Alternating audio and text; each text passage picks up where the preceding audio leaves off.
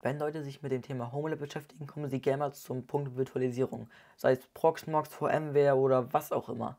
Nur vielleicht haben sie nicht die Hardware dazu da oder haben nicht Lust, sich mit Virtualisierung auseinanderzusetzen, weil sie nur Home Assistant und den S-Server haben wollen.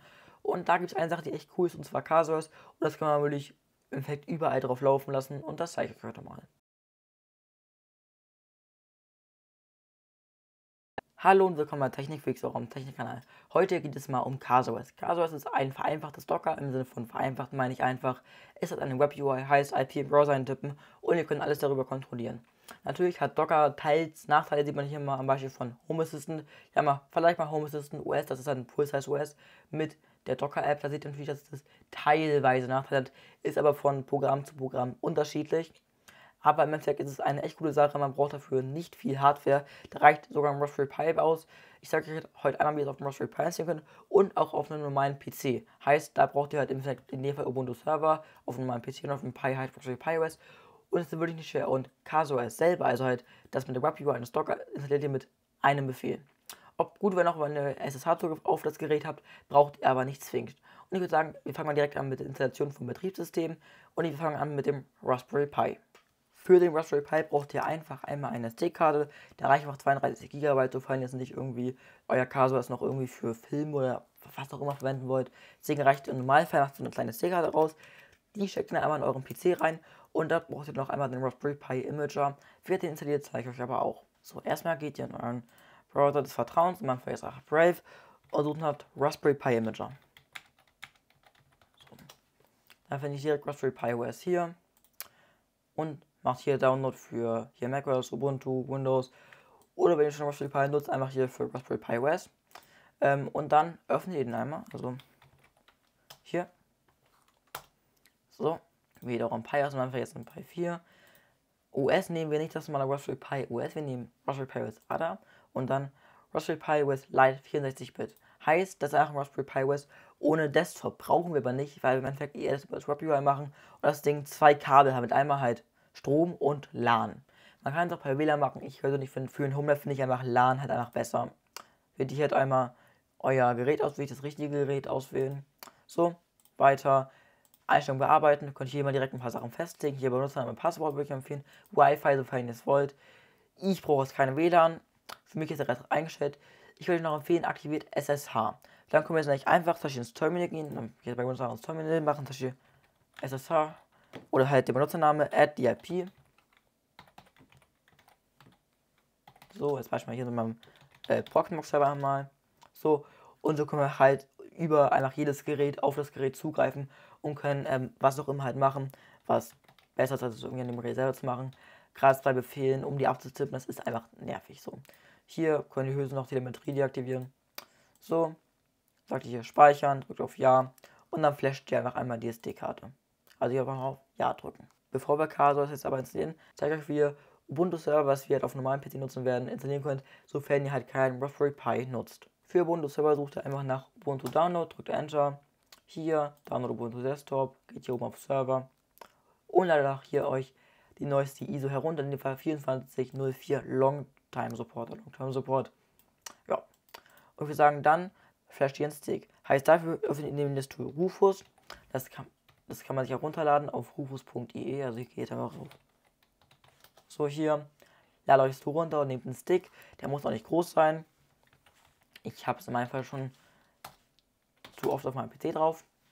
So hier. Wählt das richtige Gerät aus. Dann wählt ihr eure gerade heruntergeladene ISO aus. So. Wählt euren Stick aus und dann halt ihr auf Start. So. An eurem PC bootet ihr dann von dem Stick. Dann werdet ihr vom GNU Grub Boot Manager begrüßt. So. Meinem Fall ist ein Proxmox vor allem tut, aber nicht zur Sache. Es ist im Kern einfach die normale Ubuntu-Installation. So. Dann bootet das einmal kurz. Dann sollte vielleicht, falls ihr Auflösungsprobleme habt, das Probleme sich auch automatisch lösen.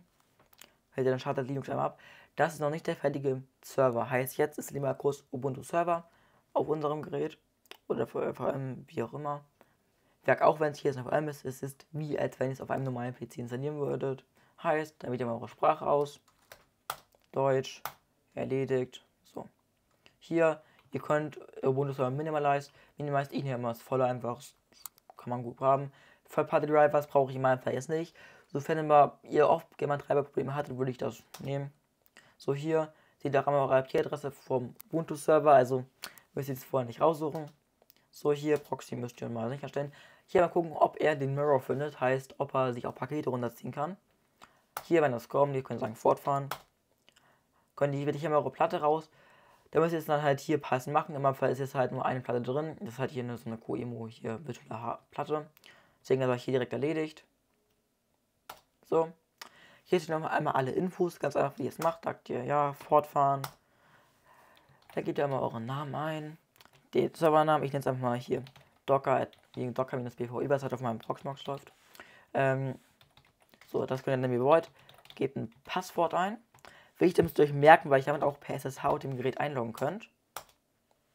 Hier könnt ihr Ubuntu Pro aktivieren, braucht ihr dafür aber tatsächlich nicht. OpenSSH definitiv. Das wollen wir definitiv.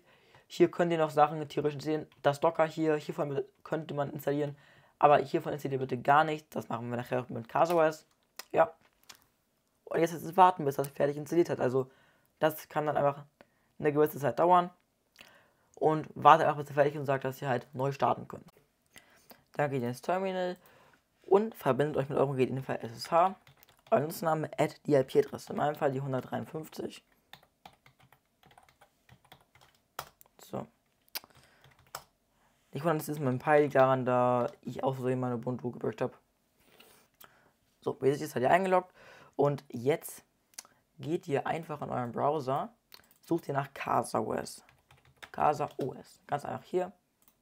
Ich hole direkt einmal, einmal für den, zumindest den Woche hier, den kopiert ihr und geht wieder in euer Terminal, fügt ihn ein.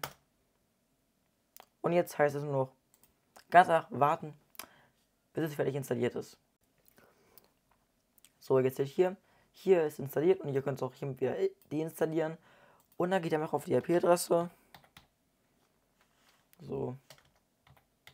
So. Hier und da kommt, könnt ihr erstmal einen Account erstellen. Ganz einfach. So. Startler.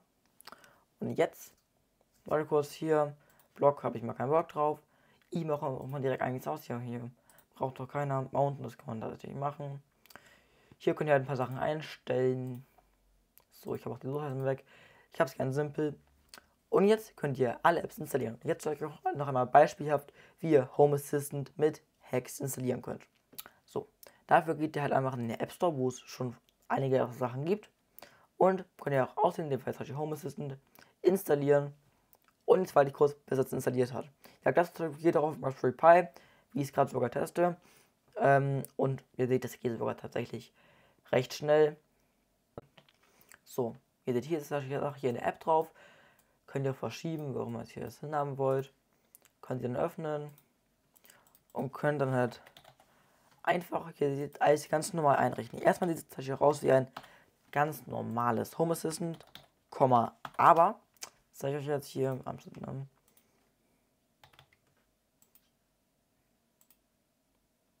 So, zeige ich jetzt mal nur, jetzt hier, fehlt hier einfach der Add-on Store. Da achtet nicht die Sache, weil dort eh nicht das wichtigste Zeug ist. Und jetzt zeige ich euch noch eine Sache, die ihr nicht mit Home Assistant Verbindung ganz gut zeigen kann. Und zwar steht oft, dass ihr irgendwas installieren wollt. Hier, go inside the container with bla bla bla. Mit dem Befehl braucht man gar nicht. Man kopiert ja nur den Befehl, den man ausführen will. Geht auf CasaOS, hier rauf, Einstellungen und hier aufs Terminal. Ganz einfach, viel einfacher. Und jetzt hier auch ganz einfach drüber installieren. Und wie ihr seht, man braucht kein, äh, muss auch solche keine Befehle ausführen für irgendwie hier, geh ins Terminal äh, und so weiter. So, wie ihr seht, CASOS ist echt cool, es ist einfach zu installieren und das einzige, was ihr braucht, ist ein Linux-PC. Und Linux kann man ja überall drauf installieren, das halt wirklich sogar für einen Toaster. Und ihr braucht theoretisch sogar nur einen Netzwerktreiber auf dem Ding drauf, also mehr braucht ihr im Endeffekt auch nicht. Wie seht, ist es wirklich nicht schwer und meiner Meinung echt cool für Anfänger im Bereich HomeLab, weil es nicht kompliziert ist und wie ich finde, wie gesagt, ganz einfach ist. Wenn ihr noch Fragen und Anmerkungen, was auch immer habt, schreibt sie gerne in die Kommentare. Bis zum nächsten Mal und bis dahin, ciao.